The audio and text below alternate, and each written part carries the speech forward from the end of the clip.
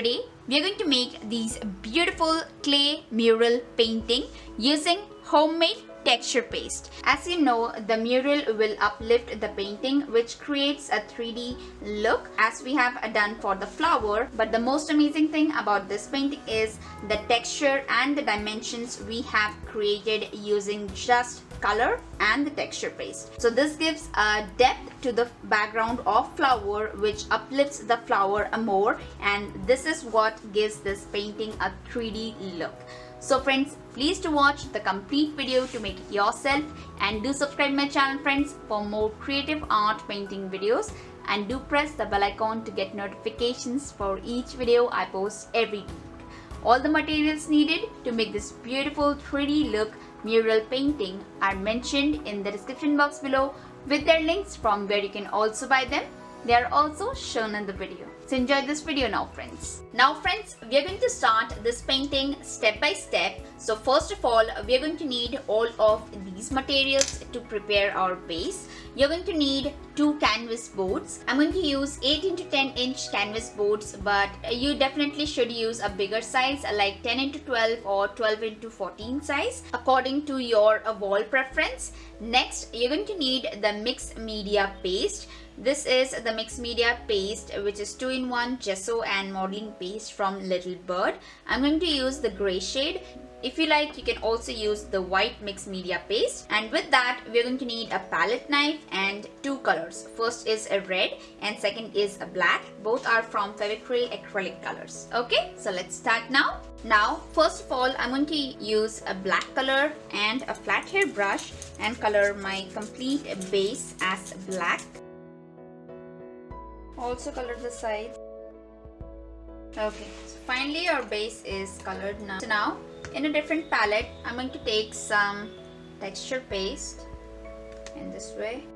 Try to add enough amount according to your canvas. Okay i think this is enough. Close the gap. And then as you can see this is gray but we actually need it much more darker. So i'm going to add a little amount of black color in it and mix both the mediums in this way using a palette knife.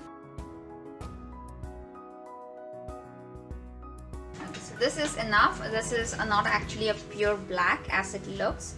So now friends, what you have to do is pick enough quantity of the texture paste in this way and using the same palette knife, thread it on the area.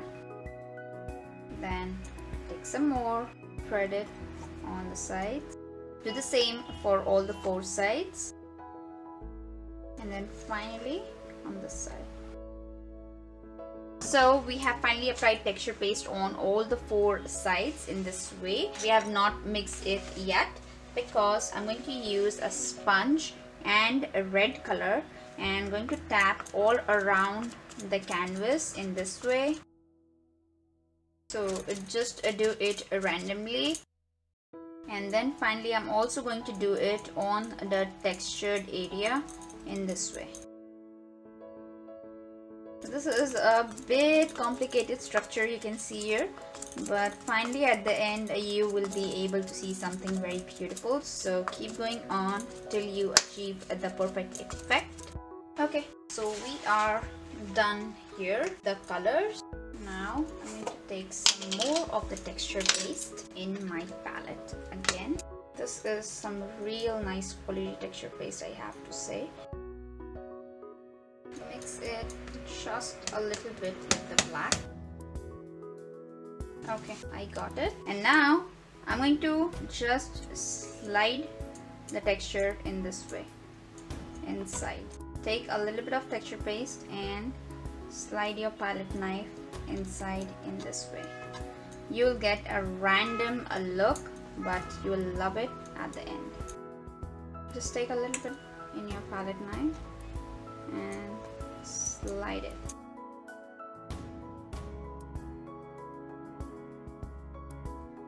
This part is really simple once you have done the coloring part. So just go easy on it and slide your palette knife through the colors and the texture paste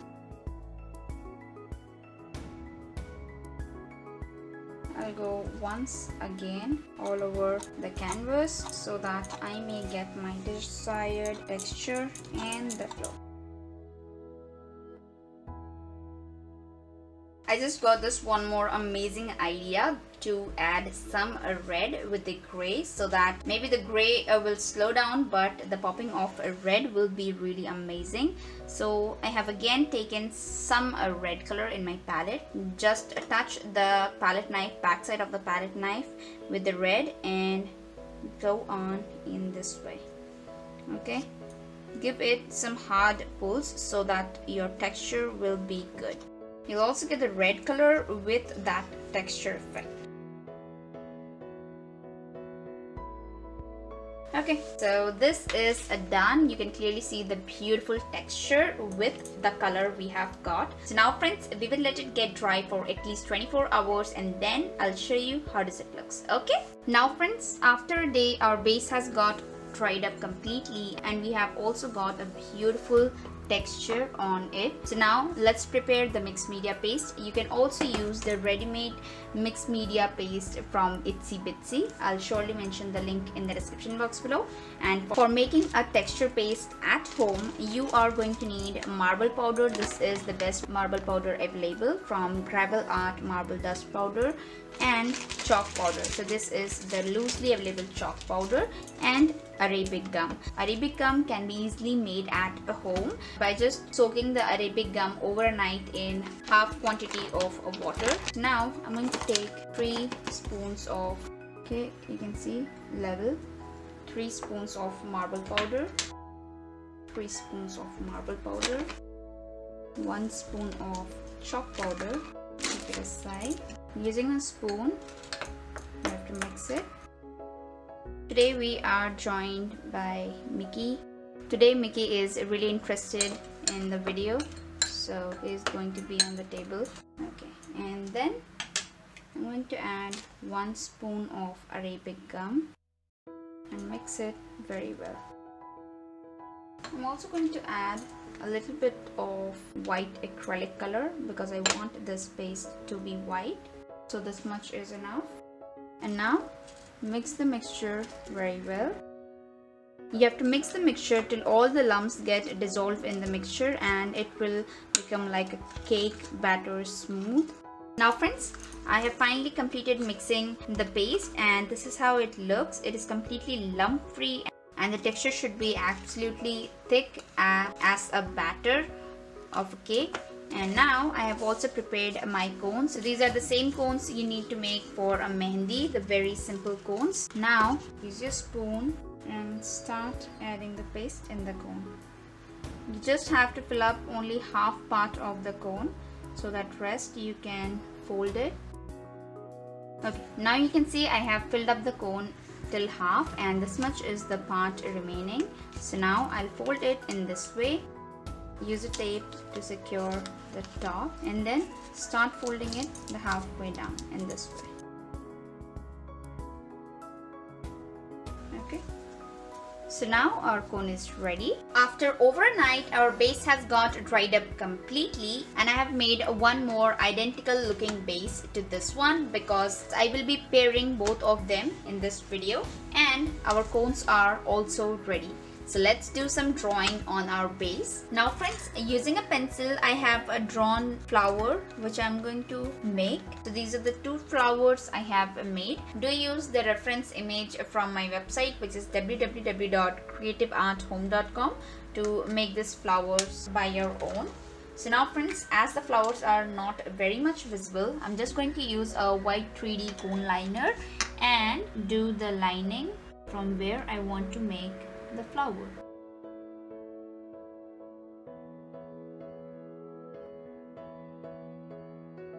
This is my first flower and this is going to be my second flower. Okay, this is going to be my second flower. So now friends, first of all, we'll start the mural process from the first flower and this is our cone and I'm going to give it a small and start placing the mural on this part. So in this way it will give up upliftment to the flower. You simply have to wet your finger and then drag the clay inside in this way. You can also use a palette knife but I thought this is a much easier way to do it. Do it once again. Wet your finger just a little bit and pull the clay inside in this way.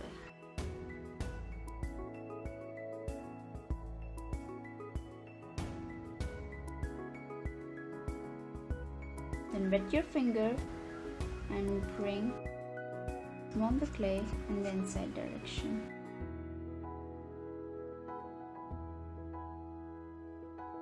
So this part friends is a bit tricky because you have to go through it in both the directions. Wet your finger and just pull it in the inwards direction.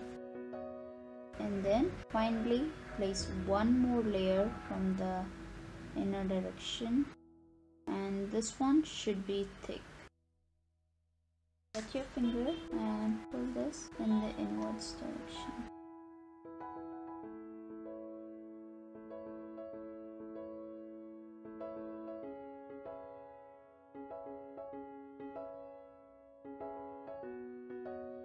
Okay, so now you can let it get dry.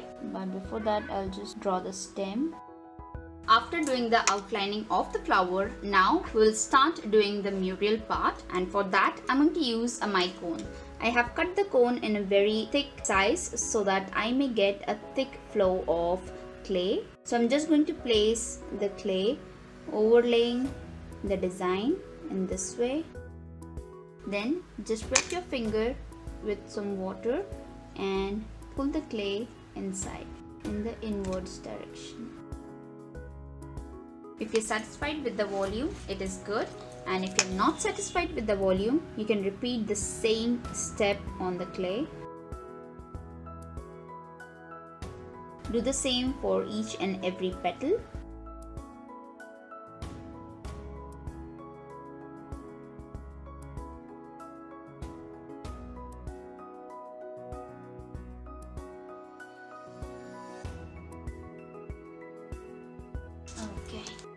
And now finally draw the stem.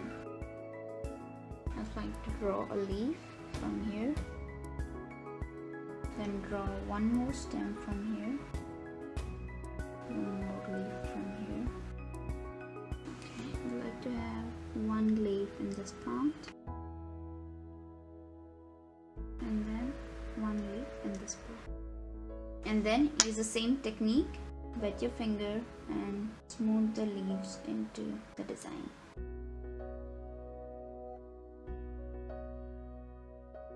So now friends, the mural part is finally completed. We will let it get dry and then we can move on to the next part which is coloring. So now friends, after few hours, our mural part has got dried up completely and you can clearly see that there is a no crack in our mural. So you can see that the homemade mixed media paste works really good. So now friends, I'm going to start the coloring part and for that, I'm going to use acrylic color. So here in my palette, I have taken white and gold acrylic color. And now one by one we'll start coloring the flowers. For flowers first of all I'm going to use white color and layer all white on it in this way. I'm also going to color the leaves as white.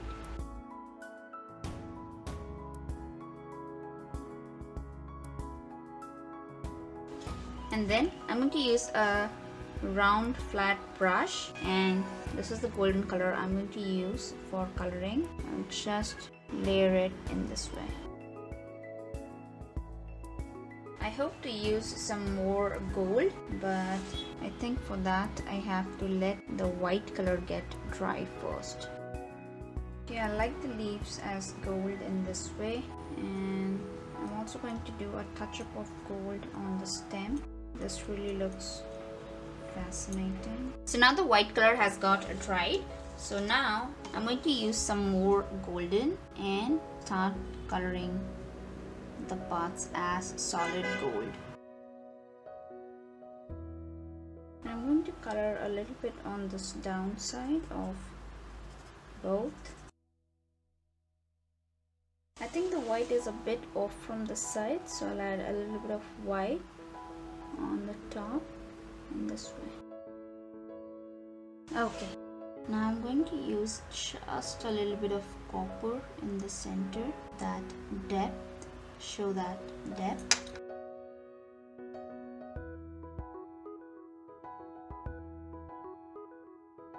I think it looks beautiful this way. We can also add some center pollens when it will get dry. So now I'm going to do the same on this flower also. First use the white.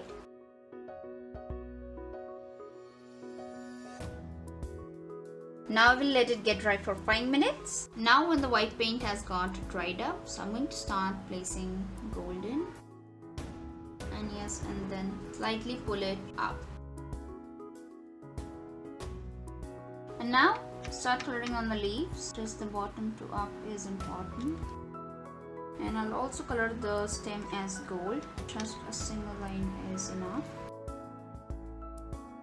This really looks good. So now let's use some bronze. Take just a little bit of bronze and start placing it in the center part of the flower in this way.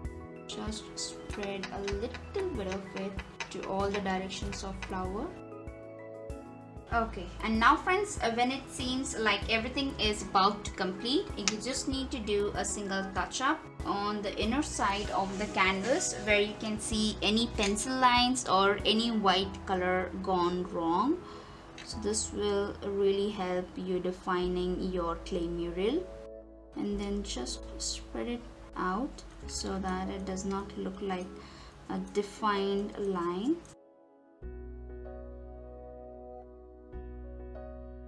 Just go with the flow you can see a tiny white line over here. So I'm going to cover it out so I'm going to cover it out using the black color. Now friends I'm going to use a white color cone liner. This is the simple acrylic cone liner and make few pollens in this way. And then I'm going to use the golden glass liner and make the round pollen dots on the top of the white. So the same I'm going to do for my next flower also.